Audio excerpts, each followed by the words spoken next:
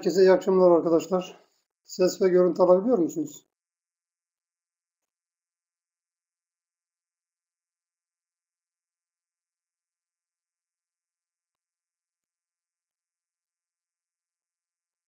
Evet, güzel. Ee, bugün geçen haftaki konumuzdan devam ediyor olacağız. Hatırlayacağınız üzerine geçen hafta malzemelerdeki fazların denge diyagramlarında fazların oranlarının hesabını anlatmıştık. Ee, ve bugün faz dönüşümlerinden bahsedeceğiz. Faz dönüşümleri dediğimizde belli bir denge durumundan farklı bir denge durumuna atomik yapılardaki e, atomik yapıların geçişmesi sonucu oluşan olaylara faz dönüşümü diyoruz. Örneğin e, demir karbon denge diyagramı üzerinden anlatacak olursak eğer 800 derecenin üzerinde çelikler östenit fazından meydana gelmekte. Ve bütün yapı östenit fazında dengeli bir durumda. Ancak sıcaklık aşağılara soğuduğunda oda sıcaklığına doğru yani A1 sıcaklığı dediğimiz 721 santigrat derecenin altına indiğinde Östenit fazı bu soğumanın etkisiyle atomik hareketlilikle dönüşmektedir diğer fazlara. Nedir o diğer fazlar? Artık bizim çeliğimizin içerisindeki alaşım elementlerinin miktarına bağlı olarak ferrit ve perlit fazlarından meydana gelmekte veya perlit, sementit gibi yeni bir yapıya, denge haline geçmektedir. İşte bu değişik yeni denge haline faz dönüşümü diyoruz. Genellikle bu dönüşümler iki şekilde meydana geliyor. Bir katılaşma dönüşümleri dediğimiz dönüşümler var. Bir de katı hal dönüşümleri.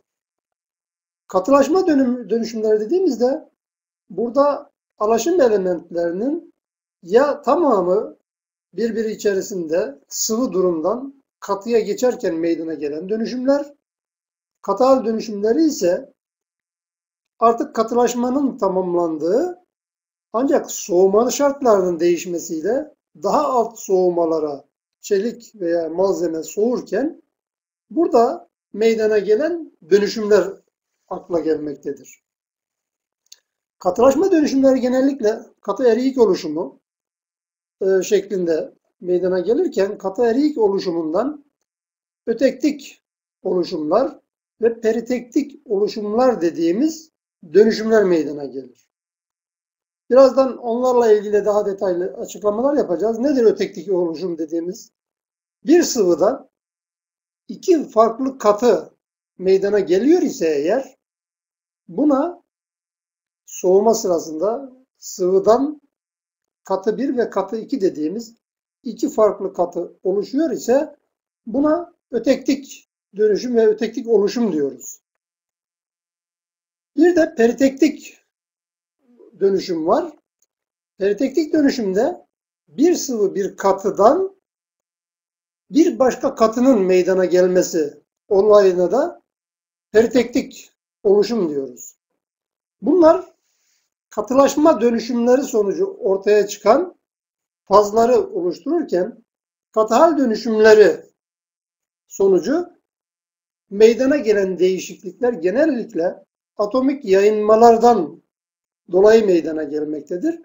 Ve bu katı halde meydana gelmektedir. Hatırlayacağınız üzere daha önceki derslerimizde dedik ki atomlar sürekli salının titreşim halindeler ve sıcaklığın şiddetine bağlı olarak bu titreşimin frekansı değişmekte ve atom yüksek sıcaklıklara çıkıldığında çevresindeki atomlarla bağını kopararak kararsız hale gelmekte. Böylece bu kararsızlık hali dengesizlik halini oluşturduğundan dolayı düşük enerjili konuma geçme eğilimi gösterecektir. İşte bu düşük enerjili konuma geçme olaylarına biz atomik yayınma ya da difüzyon olayı diyoruz. İşte bu difüzyonun atomik yayınma sonucu ortaya çıkması ile de katı hal dönüşümlerini poliformik dönüşüm, ötektoid dönüşüm, peritektoid dönüşüm ve katı erikten çökelme gibi alt oluşumlar takip eder. Demek ki katılaşma dönüşümleri yani sıvıdan katılaşmada meydana gelen dönüşümler ötektik, katıdan meydana gelen yayılmayla olanlar ise ötektoid. Efendim birisi peritektik, diğeri peritektoid olarak adlandırıyoruz. Poliformik dönüşüm dediğimiz çoklu dönüşüm anlamına geldiğini söylemiştik hatırlarsanız. Ve bu da oda sıcaklığındaki kristal yapının sıcaklık arttıkça farklı kristal yapılara dönüşmesi olayıydı. Ve bunun için de hatırlarsanız yine demiri örnek vermiştik. Demir oda sıcaklığında hacim merkezi kübik yapıdaydı ve sıcaklık yükseldikçe ne yapıyordu? 768 derecenin üzerinde bu sefer hacim merkezi kübik yapıdan yüzey merkezi kübik yapıya dönüşüyordu. Sonra 1400 derecenin üzerine çıktığında da burada tekrar 9-10 derecenin üzerinde düzeltiyorum. 9-10 derecenin üzerine çıktığında da burada yüzey merkezi kübik yapı tamamlanıyor. Artık delta ferrit dediğimiz ki bu tabi demir karbon denge diyagramının sol tarafına yakın bir yerde oluşuyor. Ömer bir şey mi soracaksın?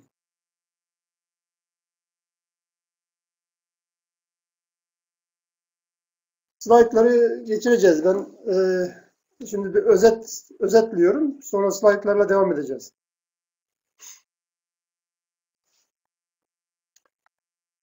Ee, hayır hayır sabit kalmadı farkındayım. Ee, dolayısıyla yani bu söylediğim e, poliformik dönüşüm e, slaytta yok. Daha önceki slaytlarda vardı. Bundan dolayı onu bir hatırlatma adına söylüyorum. E, 9-10 derecenin üzerinde ve demir karbon denge diyagramında eğer karbon oranı çok düşük ise yani sol tarafa yakın bir bileşimde ise çeliğimiz o takdirde tekrar delta ferrit dediğimiz hacim merkezi kübik yapıya dönüşüyor ve 1535 derecenin üzerinde de artık demir sıvı faza geçmiş oluyordu. E, o açıdan demek ki biz faz dönüşümlerini ikiye ayırıyoruz. Katılaşma dönüşümleri ve katı hal dönüşümleri olmak üzere. Deminki aslında söylediğimiz olaylar burada da e, görülüyor. Eğer e, sıvı eriyikten katı eriyik meydana gelecek ise burada bir sıvının soğuması sırasında katı faz 1 ve katı faz 2 şeklinde demin ifade ettiğimiz gibi ötektik bir dönüşüm meydana geliyor. Eğer katı faz 1 ve katı faz 2 ısıtılacak olur ise bunlar da sıvı hale geçerek bu dönüşümde yine e, ötektik bir dönüşüm oluşturuyor. Bu gibi reaksiyona sahip sistemlere ötektik sistemler deniyor. Bunlar iki katı fazın çok ince ve çok sık bir şekilde birbirleri üzerine dizilmeleri şeklinde meydana geliyor ve bu da malzemenin mekanik özelliklerini artırıcı bir etki yapmış oluyor. Ee, bununla beraber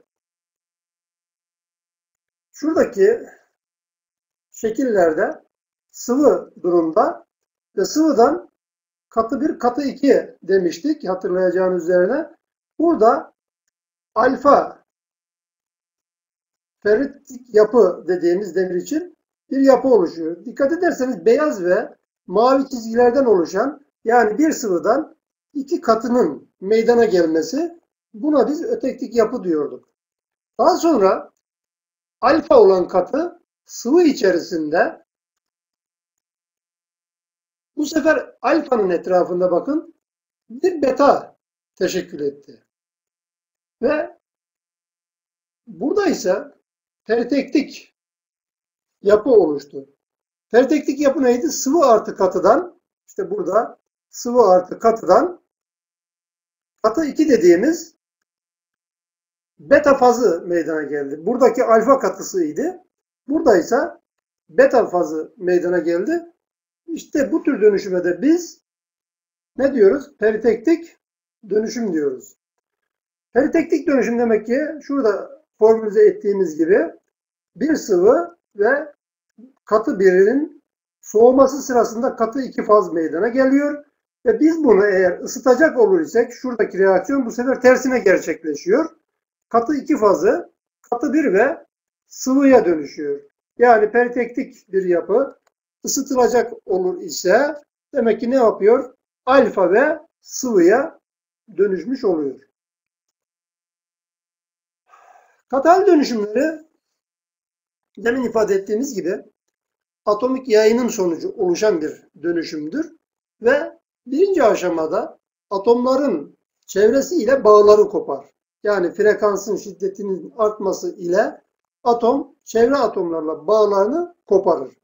Bu bağların kopmasıyla atom kararsız ve dengesiz halde bulunacak. Böylece bu hal yani kararsızlık hali süreklilik arz edemeyecek. İşte burada ikinci aşamaya geçiliyor.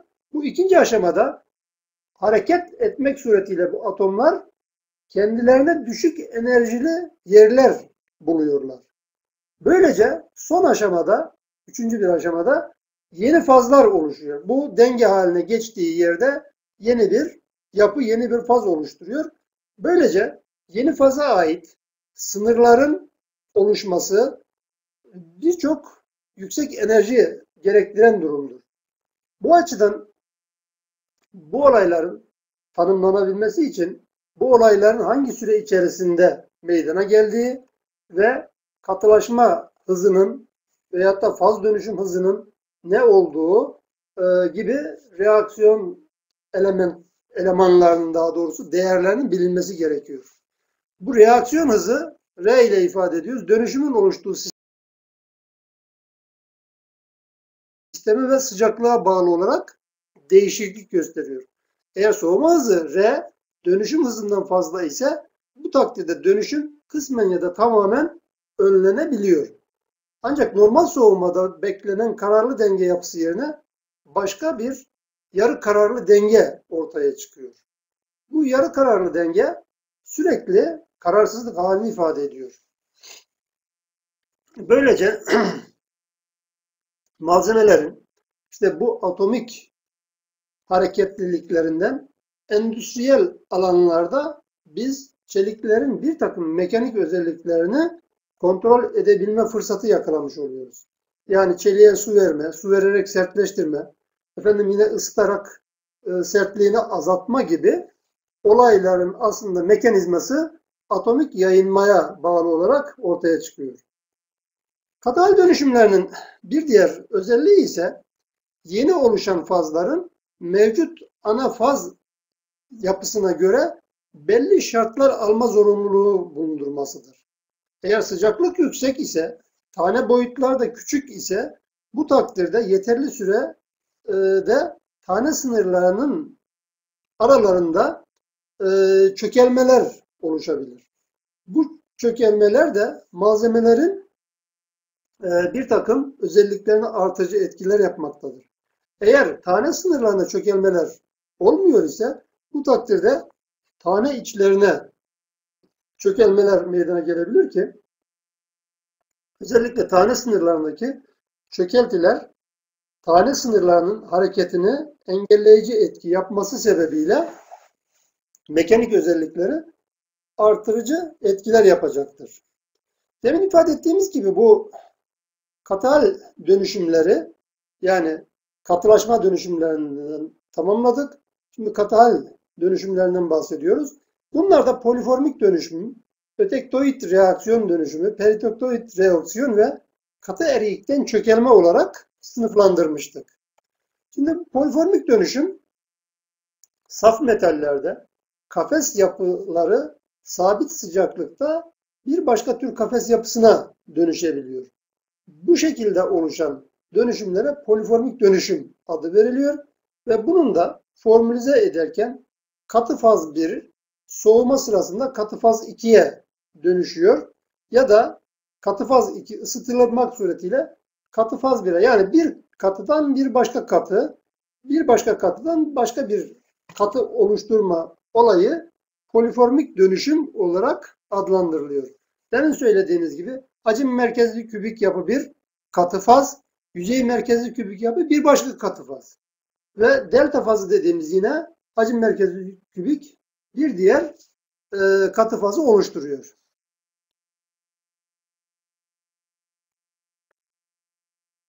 Ee, Oğuzhan ne diyor? Hocam sabit sıcaklıkta soğuma ya da ısınma nasıl gerçekleşecek? Ee, şimdi geçen hafta hatırlarsan Oğuz derste var mıydı bilemiyorum. Saf metallerde ve alaşımlarda ısıtma ve soğutma diyagramlarından bahsetmiştik. Dikkat ederseniz orada sıcaklık sabit kalırken süre artmasına rağmen sıcaklık sabit kalıyordu. İşte buradaki sıcaklığın sabit kalması ama aslında bir enerji veriliyor. Bu enerji nerede harcanıyor? Faz dönüşümünde harcanıyor anlamına geliyor demiştik. Dolayısıyla burada sıcaklıktaki sabit kalma yeni bir fazın oluşmasında enerjinin harcanması anlamındadır. Ee, evet bak İlker e, konuyu örneklendirdi. Suyun da kaynamasını örnek vermiştik. Aslında su kaynadığı anda ne yapıyordu? Sıcaklık sabit kalıyor. Sürekli 100 dereceyi muhafaza ediyor ama sıvıdan artık gaz haline geçiyor böylece. Bir faz dönüşümü meydana geliyordu. Buradaki sıcaklığın sabit kalması olayı bu.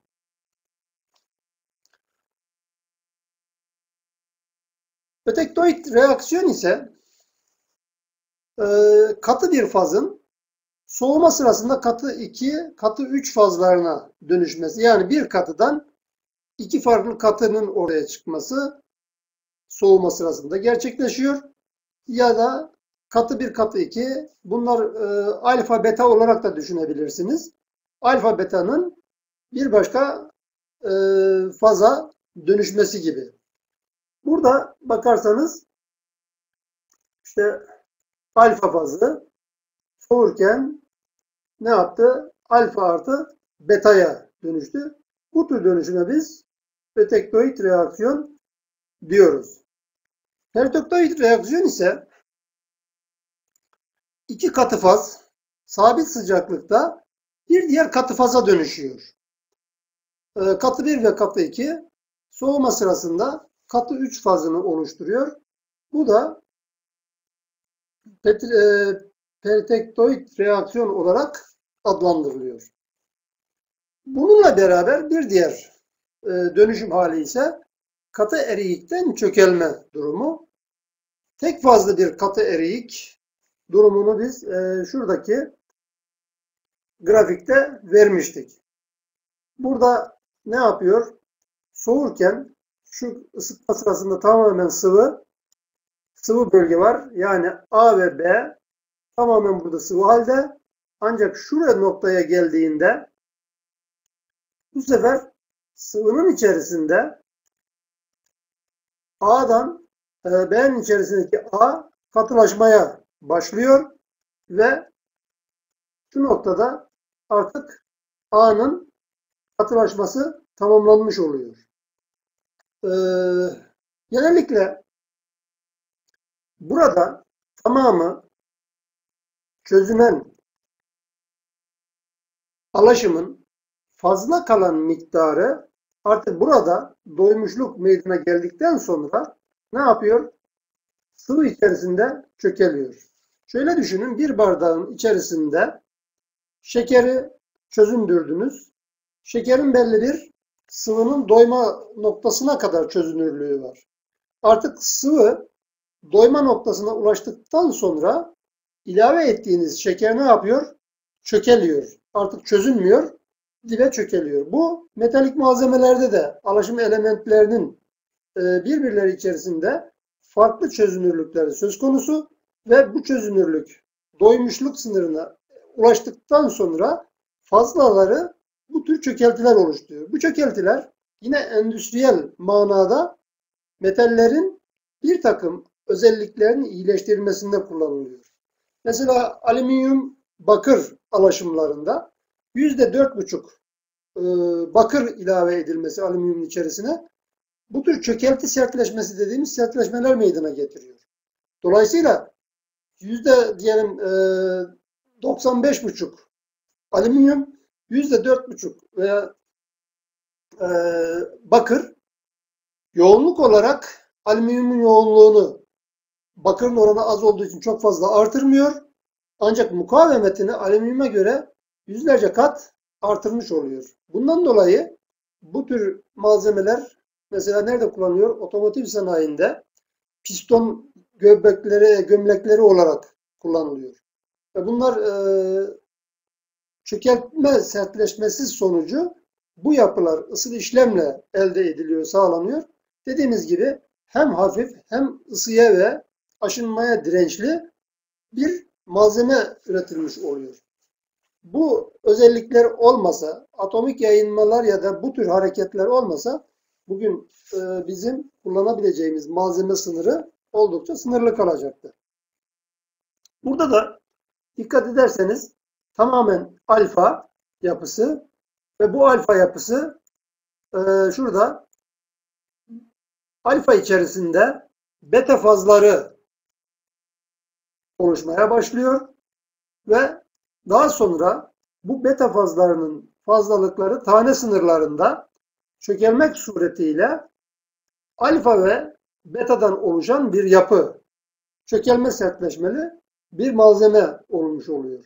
Bu da demin söylediğimiz gibi hem yoğunluğu düşük hem mukavemeti yüksek malzemeleri oluşturuyor. Öteklik sistemlerde e, bunlar neydi öteklik sistem? Katılaşma dönüşümleri sonucu meydana gelen reaksiyonlarla oluşan bir dönüşüm idi. Burada bakacak olursanız şu diyagramda e, şu nokta artık e, tamamen sıvının bulunduğu nokta. Şurası A'nın yüzde yüz, şuranın da B'nin yüzde yüz olduğu nokta. Yani iki farklı element diyelim. E, bakır ve alüminyum düşünebilirsiniz. Demir karbon düşünebilirsiniz. Bunların birbirleri içerisindeki çözünürlükleriyle alakalı bir diyagram. Burada BE dediğimiz şu değer öteklik bileşimi oluşturuyor. Yani şu noktayı.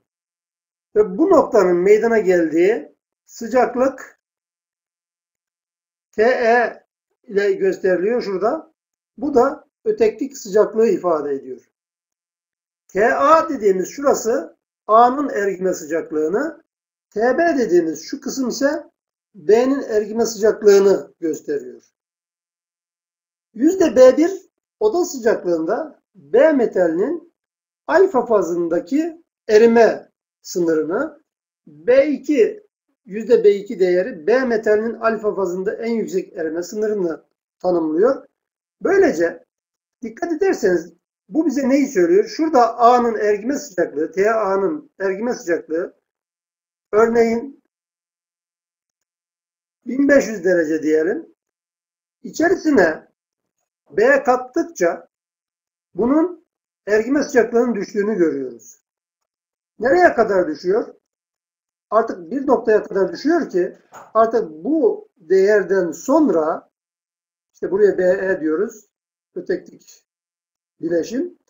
Bunun üzerinde artık B oranını artırdıkça bu sefer tekrar ergime sıcaklığının arttığını görüyoruz. İlave edilen B bu sefer B'nin kendi ergime sıcaklık özellikleri devreye girerek alaşımın ergime sıcaklığını yükseltiyor. Nereye kadar? %100 B'de artık B'nin kendi ergime sıcaklığına gelmiş oluyor.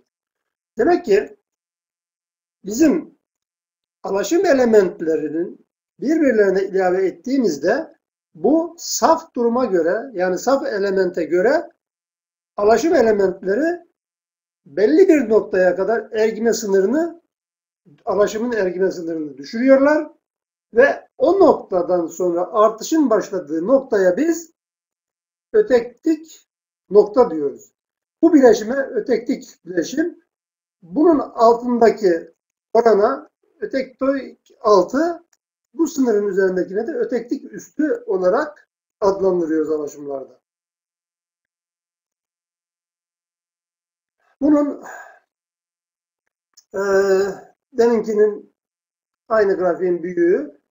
Burada dikkat ederseniz şu nokta artık sıvının olduğu nokta. Şuraya geldiğimizde burada sıvı artı alfa var. Alfalar katı halde ve sıvılar var. Şu noktaya geldiğimizde artık yapı tamamen katılaşmış durumda ve bütün, bütünü alfadan oluşuyor. Şu kısım alfanın olduğu kısım. Şurada ise artık alfada betanın çökeldiğini görüyoruz. Şuralarda ise B'nin oranı arttıkça bu sefer öteklik sisteme doğru dönüşüm oluyor ve şurası öteklik sistemin olduğu noktaydı. Artık B1 dediğimiz yüzde öteklik yapı şuradaki gibi ince demin söylemiştik hatırlarsanız ince birbirleri üzerine çizgiler halinde görünen bir yapıdan meydana geliyor. Bu öteklik yapının artık içerisinde B oranını artırdıkça bu sefer tekrar alfa ve beta çökeltileri meydana geliyor. Burada da B'nin oranının artmasıyla ergime sıcaklığının arttığını, şuranın %100 alfa, şuranın da %100 betadan oluştuğunu bu diyagramlara okuyarak söyleyebiliyoruz. Bununla beraber bütün diyagramlar e, ötektik ya da e, peritektik olarak değil, ara fazlar dediğimiz bu ötektik ve peritektiği birçok noktada meydana getiren intermetalik ya da metaller arası bileşikler dediğimiz e, fazlar da oluşabiliyor. Ve bunlar da yine mekanik özellikleri artırıcı etki yapan bir diğer dönüşüm ürünleri olarak adlandırıyoruz. Ee, burada alüminyum ve magnezyum sistemi var. Bu alüminyum ve magnezyum sisteminde aslında 5 tane peritektik nokta, bir tane ötektik nokta, demir karbon sisteminde ise bir ötektik, bir ötektoid ve bir peritektik reaksiyon bölgeleri var. İşte şurası nedir mesela bir ötektik noktayı oluşturuyor değil mi? Şuralar ötektik noktaları oluşturuyor. Şuralar peritektoid noktaları oluşturuyor. Yani burada intermetalik dediğimiz şurada alfa artı beta, burada delta artı beta, burada delta artı epsilon gibi e, ara fazlar oluşuyor. Bunların oranları az olmakla beraber çeşitlilikleri var ve bunlar da demin ifade ettiğimiz gibi malzemelerin mekanik özelliklerinde, sertlik gibi özelliklerinde artışlara yol açıyor. Seramiklerin faz diyagramlarına bakacak olursak eğer, seramikler de genellikle metal ile metal olmayan elementlerin iyonik bileşiklerinden meydana gelen malzeme grubudur. Ve bu nedenle birkaç iyonik bileşikten oluşan seramik malzemelerin de her bileşik için bir bileşen rolü oynadıklarını görüyoruz. İki bileşikten oluşan bir ikili sistemde sıcaklık ve bileşimi bağlı olarak burada da yine fazlar ve faz dönüşümleri ortaya çıkabiliyor. Ve bunu diyagramda örneğin demir e, oksit ve magnezyum oksit sıvı e, halde burada sıvı artı katı aralığı ve şurada da yapı tamamen katı magnezyum ve katı demir oksitten oluşuyor. Yani burada dikkat ederseniz ergime sıcaklığı düşük. Şu noktada yüksek. Yani demir oksitin oksit türüne göre burada FO olarak gözüküyor. 1200 dereceden başlıyor. 800 derecelere ve 500 derecelere kadar oksit türlerine göre bu oksit sıcaklığı, erime sıcaklığı değişebiliyor.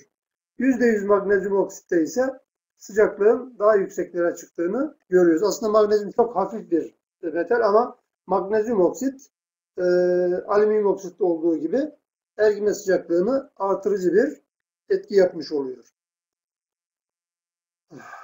Burada yine demir oksit ve magnezyum oksit bileşenlerinin birbirlerini sınırsız oranda eritebildiklerini bakır ve nikelde olduğu gibi e, alüminyum e, oksit ve zirkonyum oksit gibi sistemlerde ya da alüminyum oksit, silisyum dioksit gibi sistemlerde de burada göreceğiniz gibi bir öteklik noktaların yine olduğunu görüyoruz.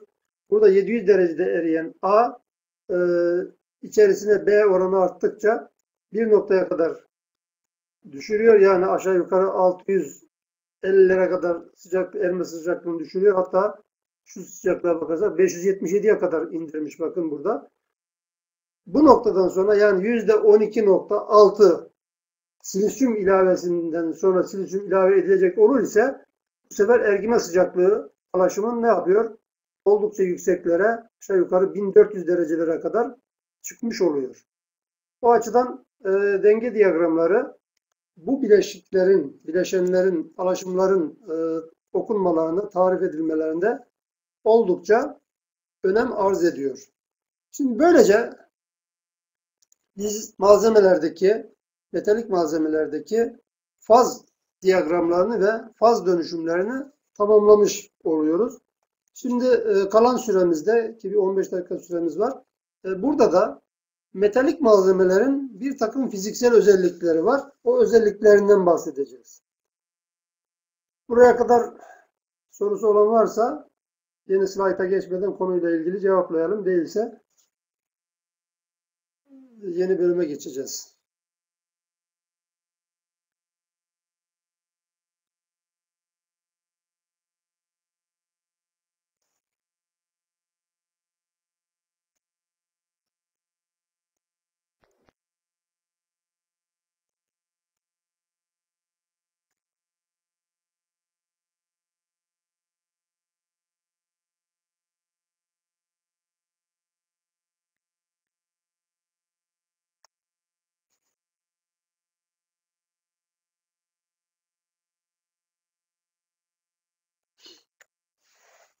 Evet, Sondur grafikleri okumayı anlamadığını söylüyor ama şimdi geriye dönüşü nasıl yapacağız? İsterseniz kaç dakika hemen oraya geriye dönelim.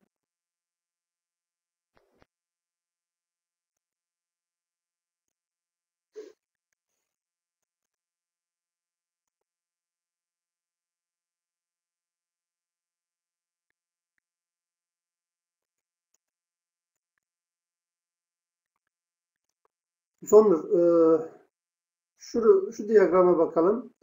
Bu diyagram alüminyum ve silisyum denge diyagramı. Alüminyumun ergime derecesi 657 santigrat derecede eriyor. Dikkat edersek şuradaki nokta, şurası A alüminyum noktası, %100 alüminyum. Şurası da %100 silisyumun bulunduğu nokta. Ve şu skala şöyle diyelim ok çizgisini görelim. Şimdi bakın şu skala sıcaklığı gösteriyor. Yatay skala ise yüzde bileşimi gösteriyor. Şu noktada yüzde yüz alüminyum ve alüminyum ergime sıcaklığı 657 santigrat derece. Biz alüminyumun içerisine silisyum ilave ettikçe ergime sıcaklığı bakın şuradaki eğride olduğu gibi azalıyor. Nereye kadar azalmış? %12.6 silisyum ilavesine kadar azalmış. Kaç dereceye düşmüş? 577 dereceye düşmüş. Artık %12.6'nın üzerinde alüminyumun içerisinde silisyum ilave edersek eğer sıcaklığın arttığını görüyoruz. Örneğin %15 ilave ettik diyelim. %15 nereden geliyor? Şu noktadan yukarıya doğru çıkıyoruz. %15'i kestiği nokta şu eğriyi.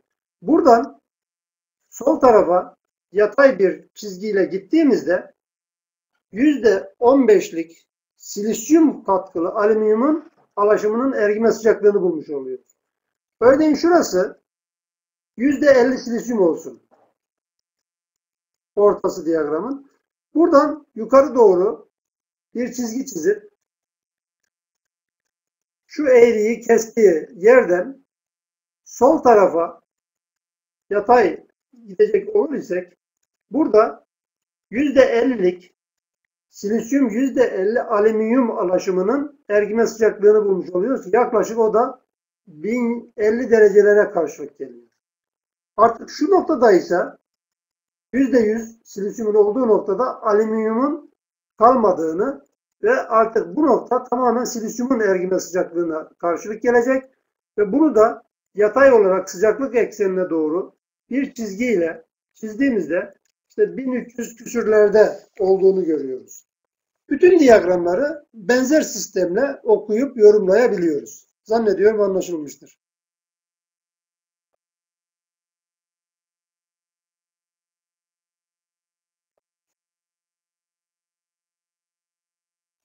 Evet, şey değil, anlaşılsın, önemli değil. Evet, şimdi malzemelerin biraz da fiziksel özelliklerine bakalım. Çünkü günlük hayatta bu malzemeleri kullanıyoruz. Bu malzemelerin bir takım elektrik iletkenliği olanları var. Yalıtkan malzemeler var. Ee, bununla beraber saydam malzemeler var. Opak malzemeler var.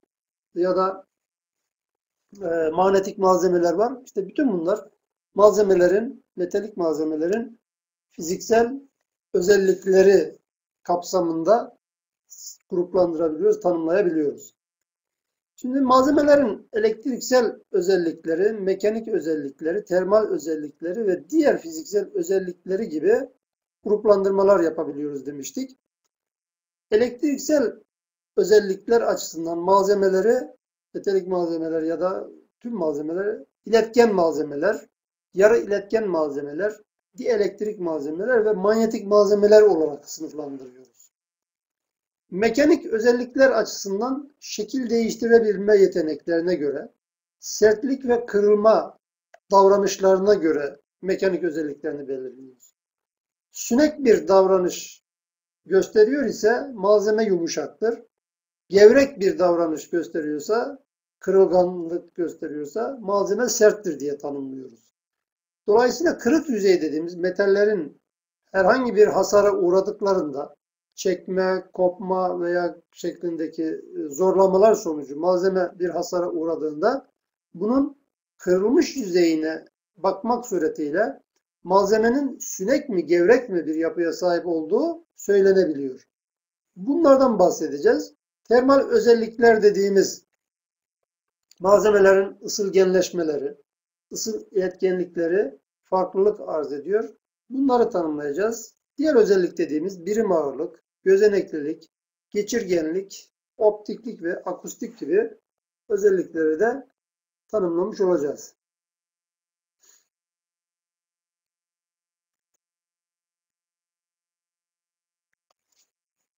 Evet burada bir ampul görüyorsunuz.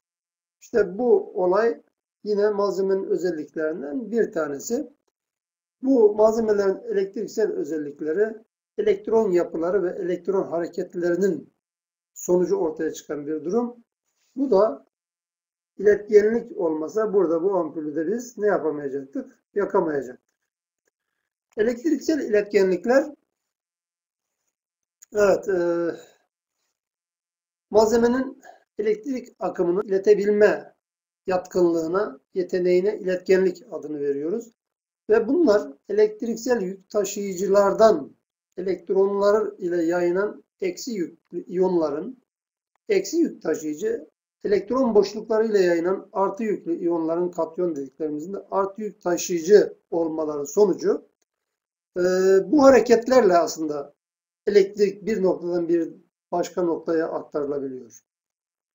Bir bireysel elektronun taşıdığı birim yük Q ile ifade ediliyor ve bu 0,16 çarpı 10 üzeri eksi 18 klon değerinde olduğu hesaplanmış durumda.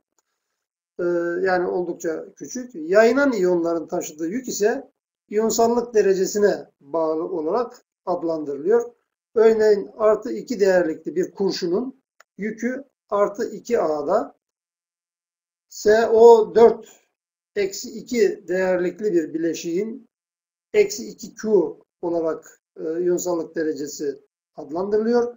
Ve bir iletkenin içinden geçen akıma karşı gösterdiği dirence e, ohm cinsinden e, R ile adlandırıyoruz. İletken boyu L ile doğru orantılı bu. Kesit dediğimiz malzemenin kesiti ile santimetre kare ile de ters orantılı. Yani boy arttıkça direnç artıyor. E, kesit arttıkça direnç azalıyor. E, böylece e, kat sayısına yani bu orantı kat sayısına da özgün direnç adını veriyoruz. Burada iletkenlik değerleri tabloda gösterilmeye çalışılmış durumda.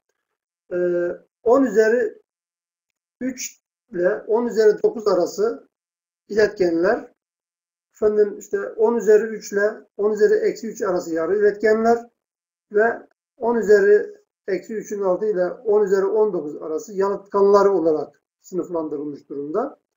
Ee, özgül direnç adına da burada elementlerin bakır, demir, kalay, germanyum, silisyum ve bor gibi elementlerin bakalit, kuarts ve mika gibilerinin e, öz direnç değerleri var.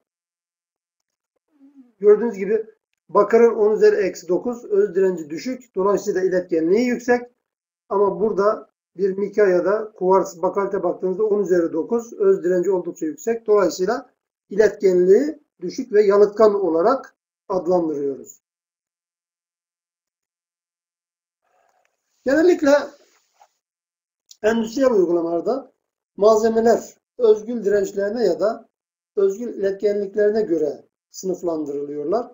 Buna göre de iletkenlikleri öz direnci 10 üzeri eksi 4'ten küçük olanlar iletken olarak 10 üzeri eksi 4 ile 10 üzeri 4 arasında olanlar yarı iletken olarak ve öz direnci 10 üzeri 4'ün üzerinde olanlar da yalıtkan olarak sınıflandırılıp gruplandırılıyorlar. Ee, bu olaylar metallerde kütle içerisindeki serbest elektronların bulunması sebebiyle bunlar iletken grubunu oluşturuyorlar. Seramik ve polimerler ise elektronlar serbest durumda olmadıklarından bunlar ana atomlara kuvvetle bağlılar.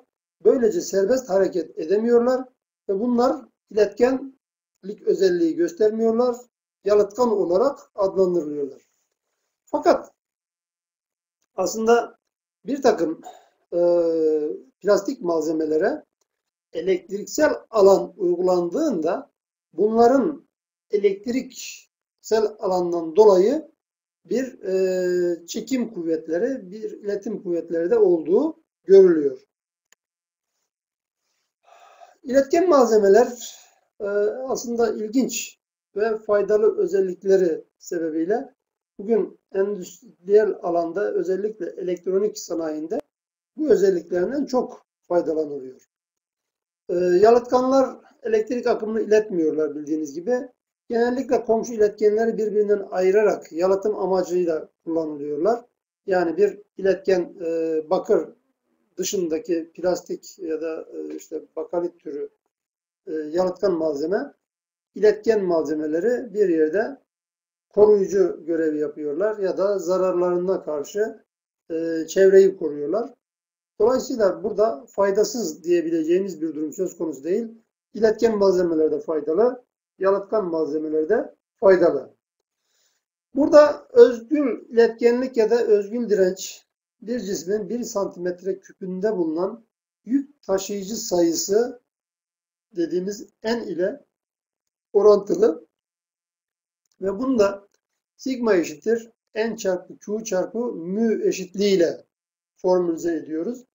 Bu eşitlikteki q birim elektriksel yükü, mü elektriksel yük taşıyıcıların iletken ortamdaki hareket yeteneğini, Q'nun birim kulon veya amper çarpı saniye yük taşıyıcı sayısını n'in ifade ettiğini ve biriminin de L bölü santimetre kare e, yani boy bölü e, iletkenin e, alana bölünmesi sigma'nın değeri 10 santimetre üzeri eksi 1 olarak adlandırılıyor ve mü'nün birimi de santimetre kare volt saniye yani bir saniyede santimetre karedeki volt gerilim değerini ifade ediyor.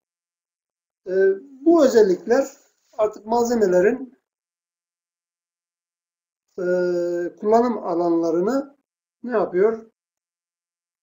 Belirliyor ve gruplandırıyor. Metalik iletkenliklerle ilgili başlıkta kalalım o zaman bugün. E, başka derslerinizin de olduğunu arkadaşlarımız yazıyorlar. E, malzemelerin e, bu fiziksel özelliklerine metalik iletkenlikle devam ediyor olacağız. Vize tarihiniz belli mi? Ne zaman vize olacaksınız?